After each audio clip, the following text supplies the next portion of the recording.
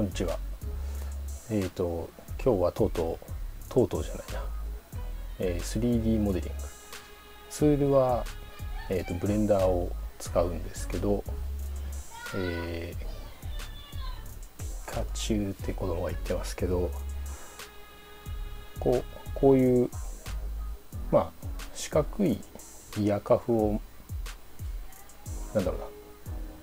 そのチュートリアルのまあ、アイテムとして、えー、実際に作るところまでの作業工程を全てやろうかなと思います。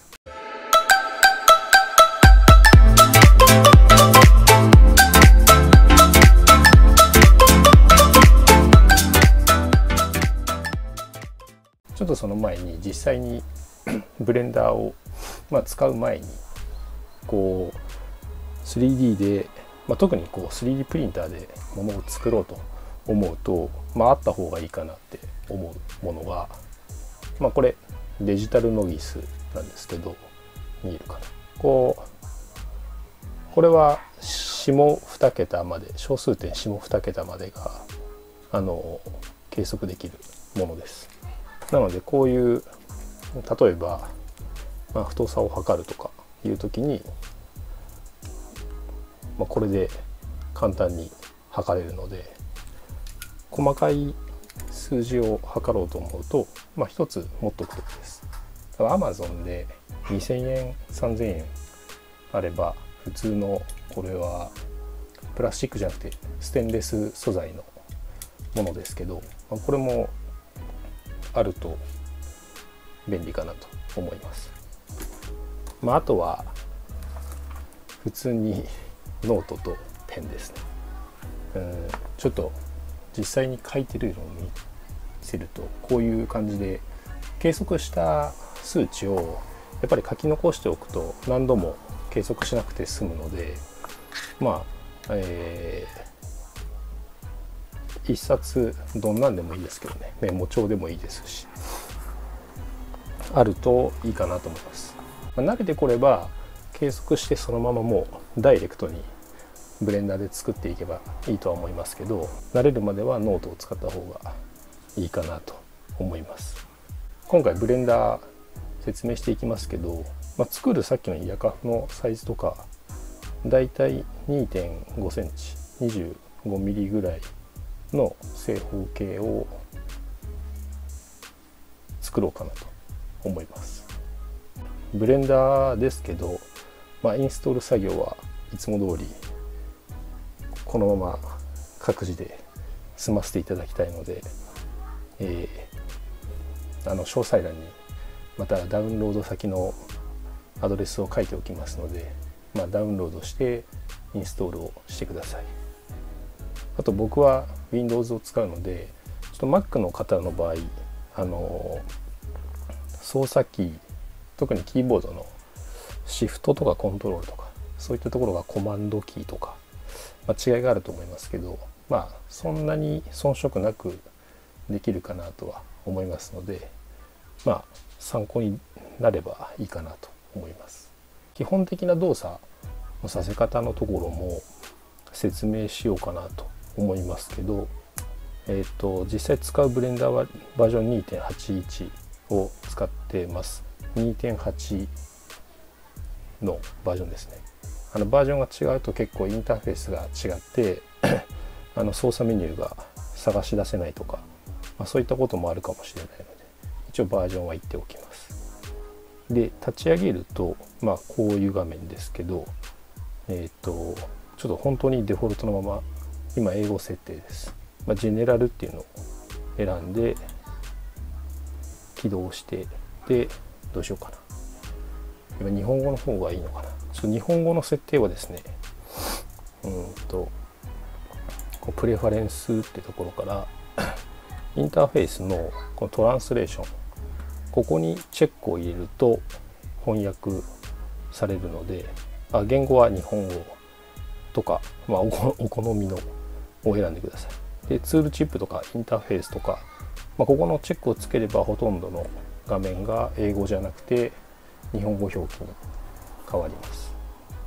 今回はこれでいこうかな。普段英語で使ってますけど。で実際にもう作っていきます。が、まあ、間間にちょっと軽く操作方法とかも入れながらいこうかなと思います。でまず画面の操作ですけど、えー、スクロールホイールのクリックをしながらグリグリやると視点が変えられます。でシフトを押しながらやると水平移動ができます。でホイールコロコロするとズームができる。あとホームボタンを押すとえっ、ー、と表示されているオブジェクトが画面の中央に移動します。まあ基本的なところはそれぐらいですかね。はい。で実際にものを作っていきますね。で今回はあのちょっと子供の声がいっぱい入るかもしれないですね。今回はデフォルトで挿入されているこのキューブをそのまま使って作っていきます。喧嘩してますね。でこのシーンコレクションのところにあるカメラとライトっていうのは 3D プリンター上では必要ないので、まあ、邪魔になるから消しちゃいましょう。右クリックでメニューで削除。もしくは左クリックで選んでデリートでも消せます。で早速ショートカットですけどうんと N N を押すとこの数値の表示が出せます。これどっから出せるのかな？あこれかな？これクリックするとあ出るんだな。まあ初めて知りましたけど。で、まあ、結構その細かい数値をベースに作っていく場合は非常に必要な画面なのでこれは出しておいた方がいいと思います。でブレンダーの特徴として、まあ、これ今このオブジェクトモード なんですけど実際にこのオブジェクトの変更する時はエディットモードに変える必要があります。ショートカットはタブキーでこれが編集モードエディットに変わりますしこのメニューから選ぶこともできます。はい。でえー、っとちょっとデータでやっていくときに不便なので0座標に僕はいつも合わせてからやってますのでその辺もやりましょうか。でこの3つのやつがその頂点を選ぶか辺辺を選ぶか面を選ぶかですね。まあ面セレクトモードに変えてまあ、この左側にメニューがあるので一番上のボックス選択。これが えー、選択モードですね。でこうこれがですねうんとちょうど中心が0になっていてマイナス座標側にも行っちゃってて数値で長さとかを調整しようと思うとやりづらいのでいつもまずここを僕は0にしちゃってます。赤が X 軸ですね。これもマイナス側を出し。Y 軸も0これで0基準でえ、ー、と1ミリ。ああと単位がまあいいか。1ミリの立方体に変更ができます。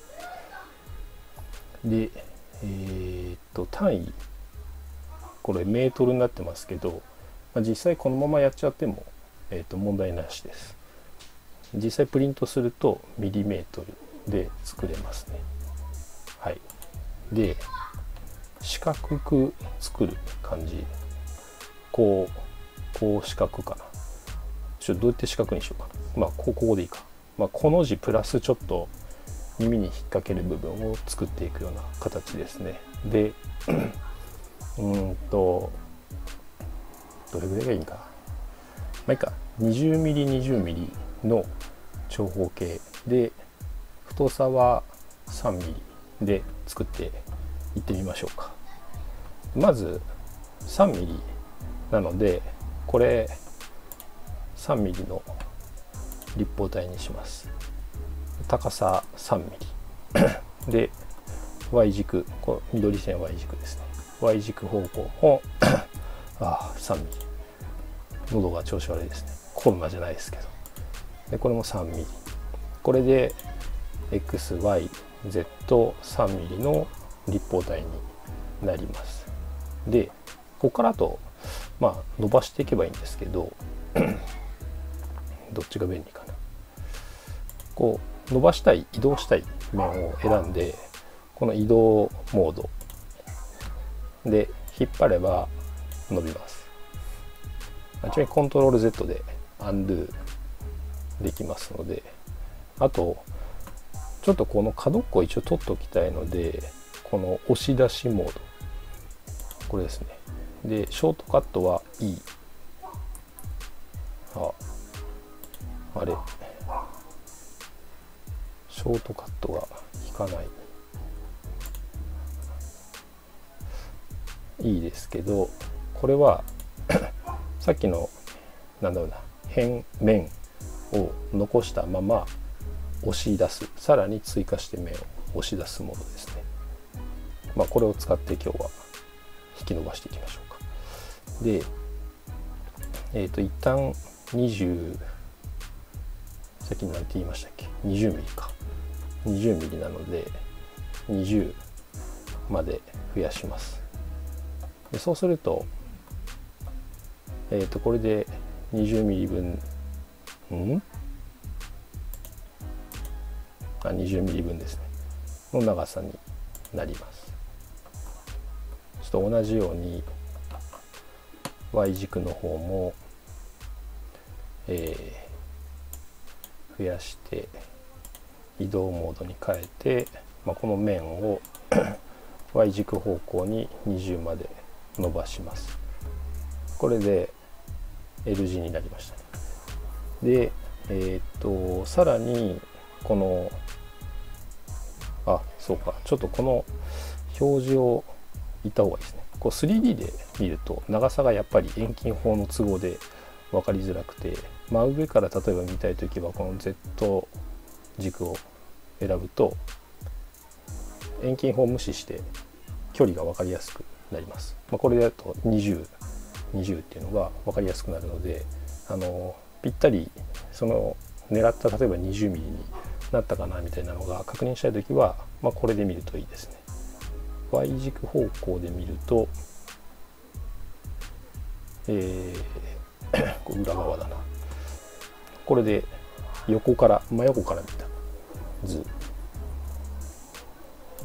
これはその軸を X 軸方向から見たものになります。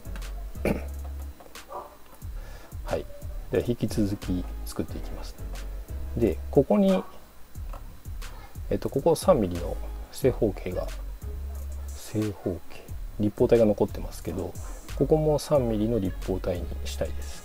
なのでこの輪切りをして線を作るイメージですね。でそれはこのルーフループカットで切れます。まあこれちょっと真ん中を切っちゃうので真ん中しか切れないかな。うん。まあ一旦ここで切ります。そうするとこの切ったところが えー、移動できるようになるのでこれ選択一周されてます。で例えば選択を1回外しちゃった場合にこう1個選んでシフトをしながらもう1個選んでもう1個選んでもう1個選ぶ、まあ、これでもいいんですけど一周きれいに取れてる場合はオルトを押しながらクリックすると一周選択ができるので、まあ、これ使ってもいいですね。でまたこれを移動するんですけど、まあ、手で移動できるんですけど 3mm ここ取りたいので位置的に言うと X 座標が17の1ですね。17でえっとこっちの Y 軸方向も同じようにカットして移動させます。この Y 軸側が17はい。これで えっ、と先っちょに 3mm の立方体ができます。こんな感じです。今度はここをこっち方向に伸ばしましょうか。伸ばしたいところを選択して 面面の選択モードに変えて面を選びます。でこの押し出しで押し出す。で距離を20にします、まあ、やること同じですね。で今度またカットして移動で17はい。です。でイヤカフなのでここの間開けたいのでうふふふ今度ここを、えっと、押し出すんですけどどんなもんにしようかな。間に間に 5mm 残しましょうか。真ん中が10なのでそう計算苦手なんですけど一旦10例えば10にしてそこから2ミリ減らしたいっていうと例えばマイナス2ってやってペンってやって8っていうのもできるので今の1からプラス何ミリマイナス何ミリっていうのもえっ、とや動かしたい量を選択あ入力してやるっていうことも可能です。これもだから一旦10 10から2ミリ分プラスする。ですね。そうするとこれで 10から2ミリずつ取ったのであさっき僕5ミリって言いましたっけ？まあいいか。あの間が4ミリ空いてる状態になります。はい。まあトゲトゲで痛くてもいいっていうのであれば出来上がりです。まあ四角を使ってあの作る分にはもうこれぐらいの操作で出来上がりますのであとはその押し出したいところを選んで例えばこの押し出すなのか選択っていうか移動でやるとこう側面も引っ張りながらとかになるのでその押し出しと移動とかの違いっていうのを理解してあのモードを選べば形ができるかなと思います。でさらにちょっと ここの角っこ痛い問題、まあ、このまま耳につけると角っこがその痛いのでここを何でしょうね。滑らかに処理をしてみたいと思います。でちょ一旦カットしてどこな方がいいのかな。2mm 分取りますか。6mm こっちも同じようにカットして1414ですね。で滑らかにする方法ですけどうんどっからやるといいかな、まあ、ここ一周取れないな。プラスこの辺の伸びていく先の部分ですね。で両方いっぺんにやっちゃいましょうか。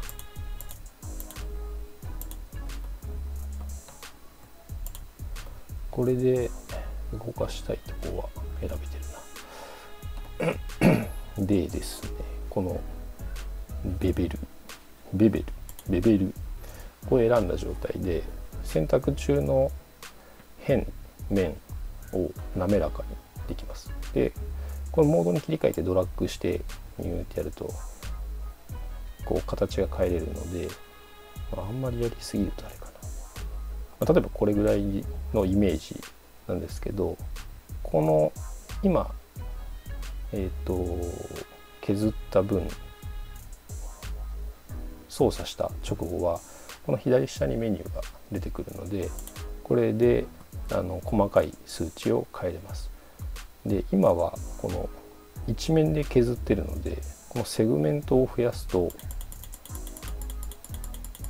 滑らかになりますこんな感じです丸みを帯びた感じになるので耳に直接当てても痛くない。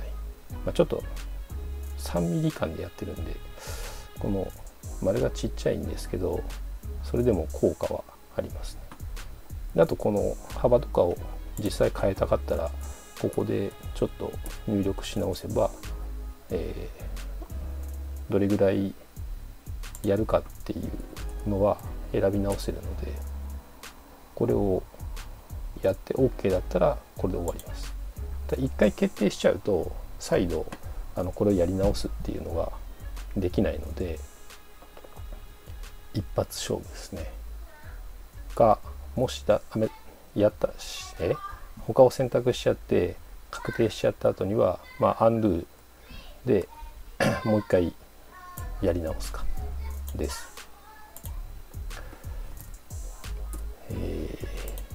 とりあえずこんなもんにしといてこれでものは完成ですね。これオブジェクト状態で見た状態です。うん。であとは実際にこれをプリントする場合にえっ、ー、とスライサーソフトで読み出すためにはあの読み出せるデータ形式にする必要があるのでこれをオフオフオフエクスポートでまあ STL を選んで、まあ、保存したい名前を入力してエクスポートってするとこのデータが STL ファイルで出力されます。まあ、あとはスライサーの方で読みで読み込んで、えー、プリントデータに変換するという流れですね。ちょっと本当はもっといろいろと細かい操作も結構使うものがあるんですけどちょっと今回のこの、えーと、四角形のスクエアイヤカフだと、まあ、これぐらいの操作でできます。ちょっとその他いろいろとまだ紹介した方がいいものがあるので、えー、と次回三角形のトライアングルイヤカフ。あれ？どっかやっちゃいましたね。あれさっきあった。あこういう見づらいかな。三角形の作り方を次回はやろうかなと思います。操作方法でこういうことどうやってやるのとか何か疑問があればあのコメント欄とかに記載してください。はい。じゃあ今日はブレンダーでスクエアイヤーカフをモデリングするの回でした。